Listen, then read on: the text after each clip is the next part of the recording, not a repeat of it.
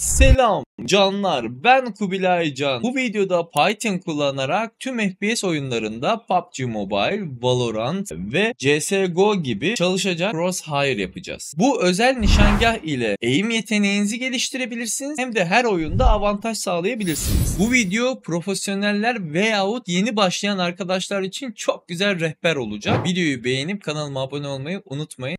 Bu şekilde videoma destek olmuş olursunuz. Evet arkadaşlar kısa bir bilgi vereceğim sizlere. Bu yapmış olduğumuz aim crosshair ilerleyen vakitte ben bunu aim bot'a çevireceğim. Tabii ki bu aim bot olayı biraz kafalara kurcalayabilir. Hile olarak adlandırılıyor. Unutmayın katıl butonuna özel bir video olacak. Çünkü yaptığımız iş bir oyun firmanın anlayamayacağı bir şekilde kodlama yapacağız. Onun için beni takipte kalın. Katıl butonuna şimdiden katılmanızı tavsiye ederim. Çünkü videodan haberdar olursunuz. Öncelikle şunu söyleyeyim. Bir klasör oluşturmamız lazım. Klasörün ismine aim crosshair yapın. İçerisine Python dosyası olarak crosshair.py adında bir Python dosyası oluşturun. Visual Studio kodu açarak ben zaten önceden yazdım. Şimdi sizlere yazarak zaman kaybı yaşatmak istemediğim için tek tek anlatacağım. Neyin ne olduğunu anlatacağım. Ona göre siz de evinizde oturup yapabilirsiniz. Şimdi öncelikle bizim burada eklemiş olduğumuz bir kütüphaneler var. Kütüphaneler ne işe yarıyor? Bundan biraz bahsedeyim. Zaten adından da anlayacağınız üzere burada iki tane kütüphane var.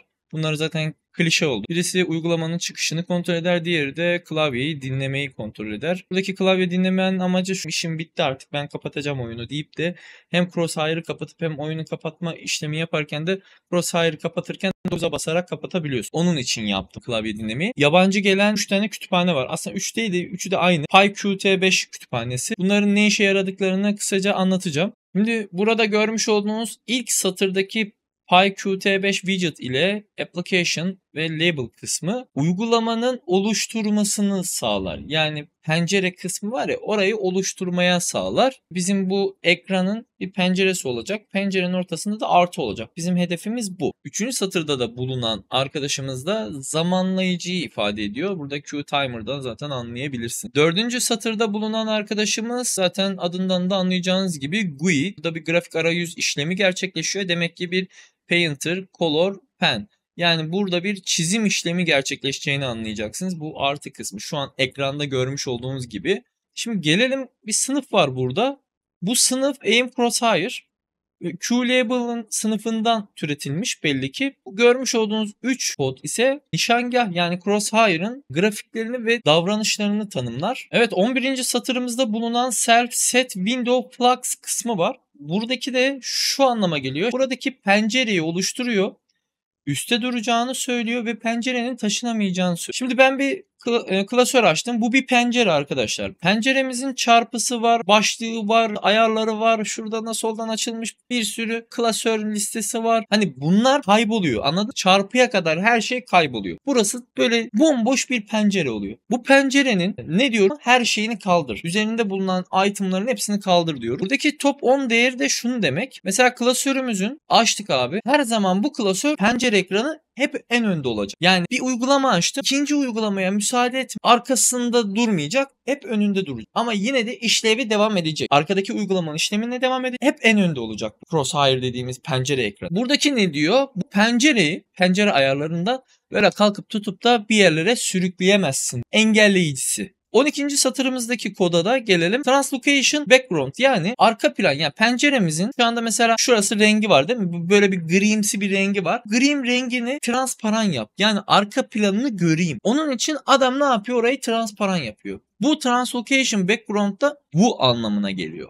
13. satırımızda da bulunan bu show without pencereyi açtım. Pencere arka plandan çalışsın. Ama hiçbir zaman etkin halde olmasın. Yani şunu demek istiyor. Bir oyun açtım. Oyunla ilgileneceğim ama bu arka plandan çalışsın. Yani bu asla ön planda çalışmasın. Eğer ön planda çalışırsa siz oyuna giremezsiniz. Oyuna tıklayamazsın, ateşlemezsin, klavye oynatamazsın. Çünkü o pencere öndeydi. Onun için bunu arka planda çalıştırıp önde göstermesini sağlayan kodumuz da bu arkadaşlar. Diğer kodumuz self.show full screen. Yani burada şunu demek istiyor. Penceremizin tam ekranı oturtur. Şimdi herkesin ekranı farklı olabilir. Benim ekranım 1680'e 1050. Sırf bundan dolayı Hani bazılarının bilgisayarların ekranları küçük de olabilir, şey de olabilir. Ondan dolayı ben de otomatik algılamasını istedim. İstesem ben oraya 1920'ye 1080 de yapar. Herkes oynayabilecek hale getirebilirdim ama benim cihazımdan dolayı yapacak bir şey bu şekilde yaptım. Otomatik algılar siz rahat olun. Herhangi bir sıkıntı yaşamazsınız. Burada crosshair visible yani crosshair'ımızın görünür olup olmadığını kontrol etmesi için bir boolean atanmış. True döndürüm. Belli ki ilerleyen vakitte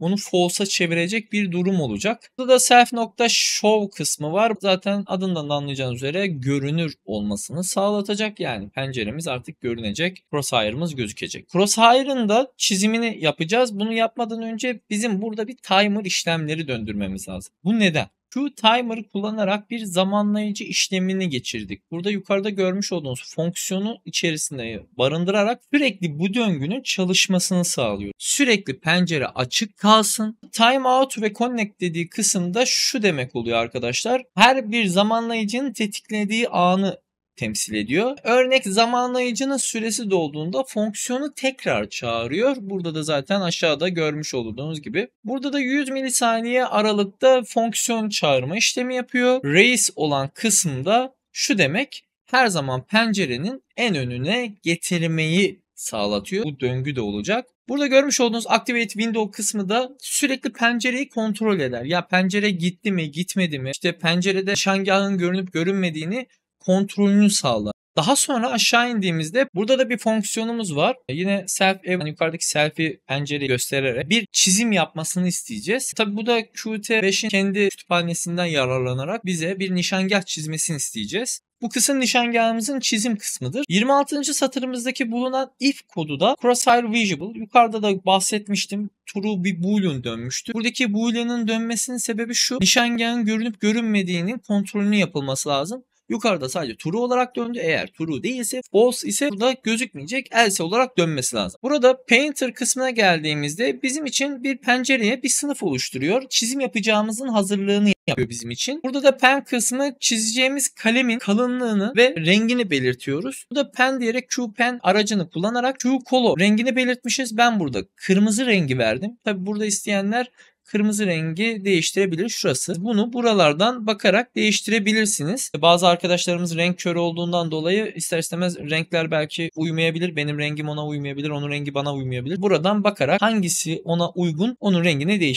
değiştirebilirsin. Daha sonra kalınlığını da buradan belirtiyorsun. 3 diye verdim ben. Belki bunu arttırabilirsiniz. Kalın olmasını istiyorsan. Buradaki işlem bittikten sonra painter'ımızı alıyoruz. Diyoruz ki set pen yani artık çizimimizi yapalım.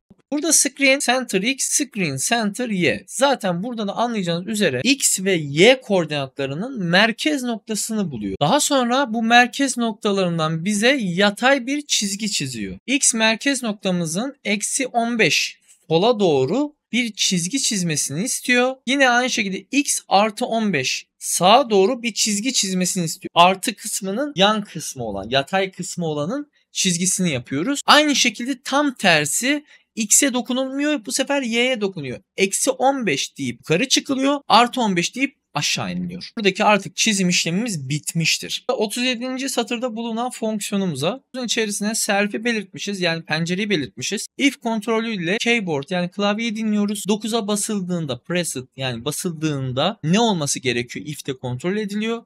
If'in içerisinde neler var? Self nokta crosshair visible eşittir not zaten şu olumsuz bir cümle olduğundan dolayı diyor ki self crosshair visible yani true olan yani görünür olacak olan crosshair visible kısmı artık false'a dönsün yani görüntüsü gitsin kaybolsun istiyor. 9'a bastığımızda bizim buradaki not true'dan false'a dönecek bu boolean'ımız. Burada da self update penceremiz güncellenir. Pencere tekrardan çizilmesini sağlatır. Yine zaten pencere kapanmıyor demişken pencere zaten sürekli en üstte olacağı için siz anlayamayacaksınız. Burada görmüş olduğunuz bu bir Python'da bir betiktir. Yani script'tir. Doğrudan çalıştırıldığında import edilmediğinde çalışacak kod bloğudur. Burası PyQt5'in çalışmasını sağlatıyor. Yani uygulamanın yaşam döngüsünü kontrol ediyor.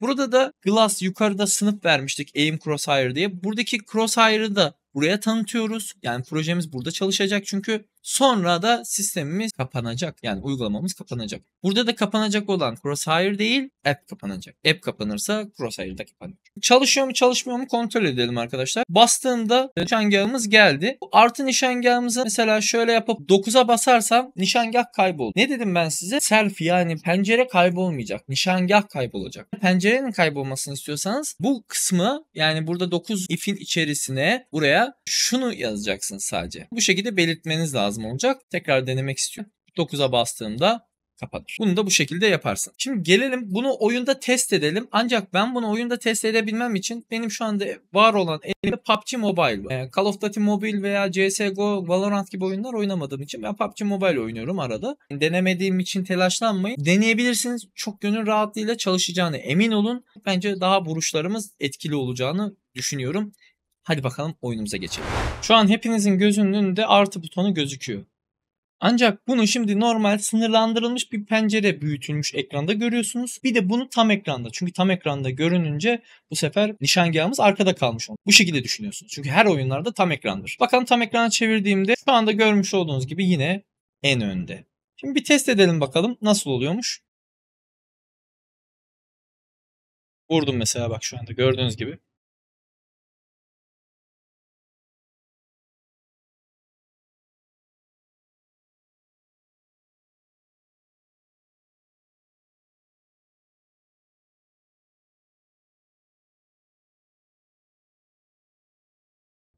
Evet arkadaşlar videomuzun sonuna geldik. İşte bu kadar kolay bir şekilde nişangahımızı yani crosshair'ımızı özelleştirebiliyoruz. Sizler de böyle videoların devamının gelmesini istiyorsanız aşağıdan kanalıma abone olmayı, videoya da like atıp yorum atmayı unutmayın. E, aimbot olayına gelecek olursak da videonun ilk başlarında da söylediğim gibi katıla özel yapacağım. Şimdiden siz katılmanızı söylüyorum. Çünkü ilerleyen vakitte katıla özel yaptığım bu aimbotu siz de faydalanmış olursunuz. Ne diyoruz? Unutma kardeşim kardeşim ben senin hacker'ınım.